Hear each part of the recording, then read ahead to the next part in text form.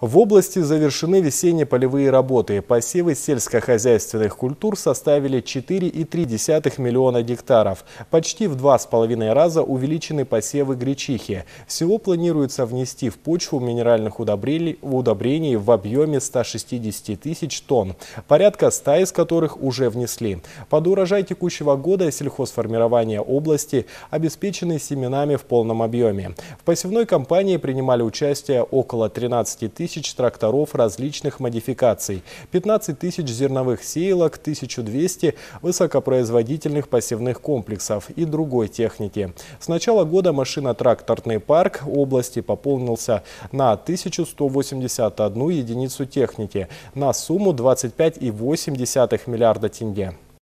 облыстың ауыл шаруашылығы саласына э, Для поддержки отрасли сельского хозяйства на 2021 год государственная поддержка в виде субсидий предусмотрена в сумме 48 миллиардов тенге, из них более 17 миллиардов на растеневодство. На проведение весенних и уборочных работ через финансовые институты Казагра с начала года профинансировано 266 заявок на сумму 14,5 миллиарда тенге.